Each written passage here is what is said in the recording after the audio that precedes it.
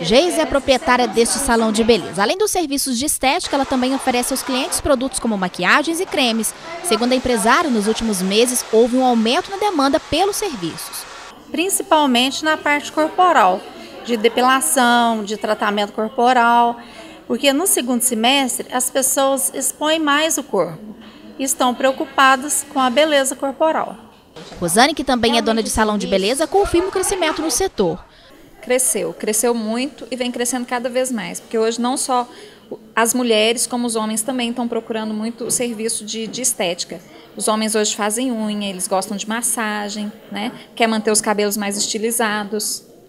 Hoje, tanto a mulher quanto o homem estão mais vaidosos. Com isso, eles estão gastando mais com o setor de beleza. Exatamente. A gente tem tratamento corporal, drenagens, depilação, inclusive a gente faz depilação com linha.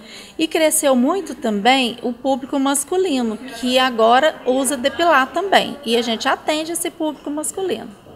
Unha, depilação e toda a parte de cabelo, né? Escova, mechas, cortes. Normalmente esses. Os tratamentos faciais e corporais estão entre os serviços mais procurados.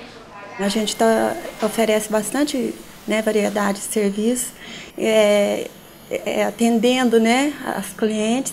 E assim, o facial, né, hidratação facial, a gente faz o peeling facial, é corporal, né? Ainda mais nessa época agora de verão.